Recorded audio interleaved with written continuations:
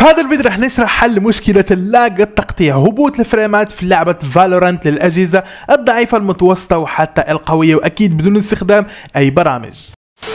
السلام عليكم شباب حالكم؟ إن شاء الله ديما تكونوا بألف خير معكم. أخوكم أحمد رجعت لكم اليوم مقطع أسطوري سنتوري جديد. مقطع اليوم يا جماعة الخير راح يكون عن لعبة فالورانت حل مشكلة هبوط الفريمات على اللعبة ال lag الكراشات كل المشاكل اللي بتيجي أثناء اللعب بتكون بتلعب فجأة بتنزل الفريمات بشكل كبير جدا. كمان راح نسرع اللعبة لجميع الأجهزة الضعيفة المتوسطة القوية. بدون ما نستخدم أي برامج كل اللي راح أسويه يا إخوان تابعوا معايا الشرح بالتفصيل. وإذا ما عرفت كيف تحمل اللعبة كمان شرحت الطريقة على القناة. اكتب بس تحميل فالورانت ديزني تك وراح تلاقي إن شاء الله الفيديو. وقبل ما نبدأ يا جماعة الخير زي ما تشوفوا قدامكم على هاي الصورة. أغلب نسبة اللي يشاهدون قناتنا للأسف مش مشتركين في قناة. يعني بيشاهدون بس المقاطع بيروحون ما بيشاركون فالله يسعد ليكم يا رب. أتمنى لو تشتركون في قناة فعلوا زر الجرس وتخلوا الإشعارات على الكل. OK يا إخوان أول شيء قبل ما ندخل لأعدادات اللعبة راح نيجي هون لسطح المكتب وراح نضغط click يمين. display settings هون.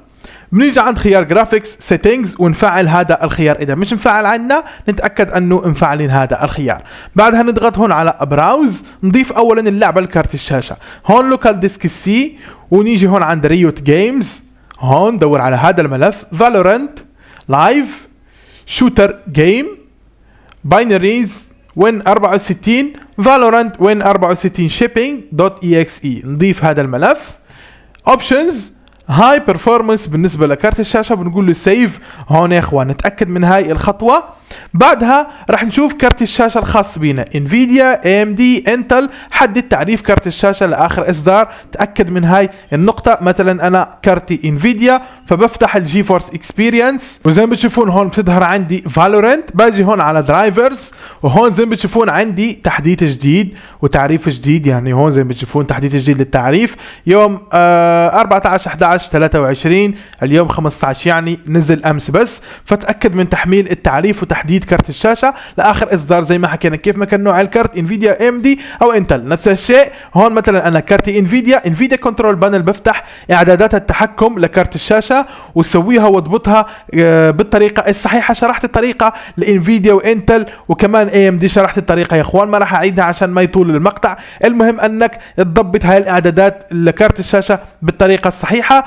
بتيجي هون ل program settings add ونضيف اللعبة لهون يا إخوان. فندور عليها فالورانت زي ما تشوفون هون بنقول له add selected program وهون تقدر تعين أو تختار الإعدادات زي ما بدك ولكن إذا ضبطت هاي الإعدادات هون ما بتحتاج تعود تضبطها هون بس بتضيف اللعبة وبتقول له هون apply إذا ظهر معك apply هون وخلص. تأكد من هاي الخطوة. بعدها بنيجي للبحث وراح نكتب background apps يا اخوان برامج بتشتغل على الخلفية. نتأكد أنه إحنا مطفينها عشان هي العدو اللدود للألعاب يا إخوان وكمان أداء الجهاز بتبطئ من الجهاز بشكل كبير جدا. بتستهلك موارد رامات معالج فنطفيها بشكل كامل وما نخلي أي برنامج يشتغل على الخلفية. okay يا إخوان بعدها بنروح ل this PC click يمين هون properties advanced system settings ونيجي هون عند settings التأثيرات البصرية الخاصة بال Windows بتلاقيها خيار أول بتختار ثالث خيار adjust for best performance smooth هون show thumbnails instead of icons بعدها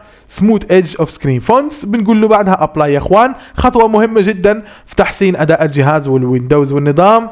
okay. وبنقول له okay هون وبنطلع. بعدها يا إخوان راح نيجي هون ونكتب run بعدها temp وبنقول له okay. كل هاي الملفات يا إخوان click يمين وحذف. احذف كل هاي الملفات مرة ثانية وبنقول له skip نفس الشيء بنرجع مرة ثانية run وهاي المرة يا إخوان نكتب temp بالشكل هذا يا إخوان وبنقول بعدها okay؟ click يمين أو Ctrl A نحذف كل هاي الملفات يا إخوان بنسوي لها حذف. الملفات هاي ال temp لو لاحظت حجمها بيتجاوز أحيانا ال 2 جيجا ل 4 جيجا حتى بنأشر هون وبنقول له skip خلص بعدها يا إخوان بنيجي مرة ثانية فالورانت open file location Riot Games فالورانت live هون ShooterGame binaries Win 64 ندور على فالورنت Win 64 Shipping dot exe click يمين properties أو الخصائص compatibility هذا الخيار. disable full screen optimization بعدها بنقول له apply وبنقول له okay هسه يا إخوان راح نروح نفتح اللعبة. okay. يا إخوان إحنا هسه جوا اللعبة فبنيجي هون عند التيرس هذا والإعدادات ال settings هون settings نفتح. بعدها راح نيجي هون عند فيديو هون يا إخوان.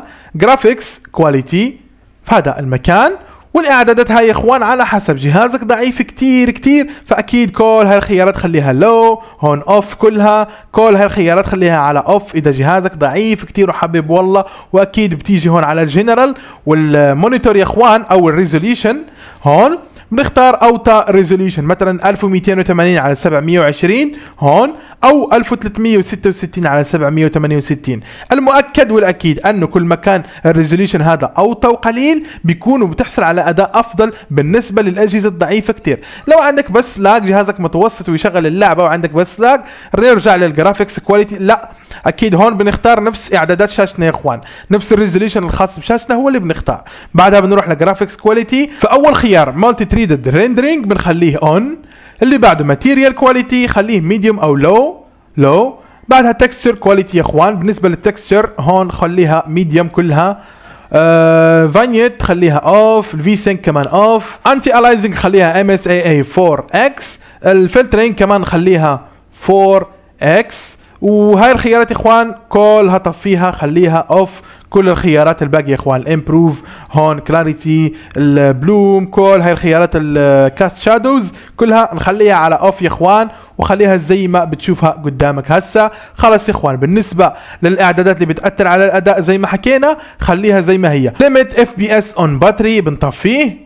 آه الخيار هذا خليه على 60 max FPS on battery خليه زي ما هو. limit FPS in menus خليه on limit FPS in background خليه on كمان. ولكن max FPS on background نخليه 30 FPS أحسن عشان لما ما بتكون بتلعب على الخلفية تكون الفريمات 30 عشان ما تهنج اللعبة. limit FPS always خليه off وخلص بالنسبة ال max FPS always خليه 60 زي ما هو. انفيديا Reflex low latency بنخليه on زائد boost هون يا إخوان. وخلص بالنسبة لإعدادات اللعبة هاي الإعدادات اللي بفضل أنك تخليها إذا بدك تتخلص من مشاكل ال drop ات ال drop FPS وال lag والتقطيع. أوكي إخوان إحنا هسه جوا game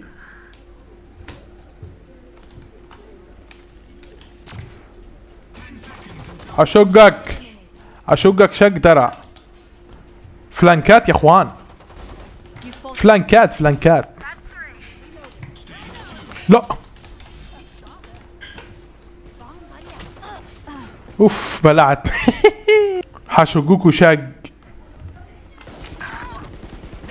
ترى راح تلقم ترى. ابلع ولا ولا. أوف إيش ذا السلاح يا إخوان؟ والله سلاح يشق شق والله ب... تلقم تلقم ترى بشقوك شق. ابلع ابلع ابلع. لك عاش. والله لوين يا إخوان؟ فيكتوري عارف أني noob بس فوز من أول game منور. أوكي عارف إحصائياتي زفت 8 كل بس يلا ماشي. وخلص يا إخوان كان كل شيء بالنسبة لمقطع اليوم اتمنى يكون نال إعجابكم مقطع طبقوا بس الشرح زي ما سويناه بإذن الله تتخلصون من المشاكل. هبوط الفريمات وال drop FPS على اللعبة. إذا ما كنتم مشتركين في القناه اشتركوا في القناه فعلوا زر الجرس. خلوا الإشعارات على الكل. ال like للفيديو هذا عشان ينتشر ويوصل لأكبر عدد ممكن من الناس. مضل شغال وداكم على إن شاء الله أشوفكم في مقطع وفيديو أسطوري سنطوري قادم. السلام عليكم ورحمة الله.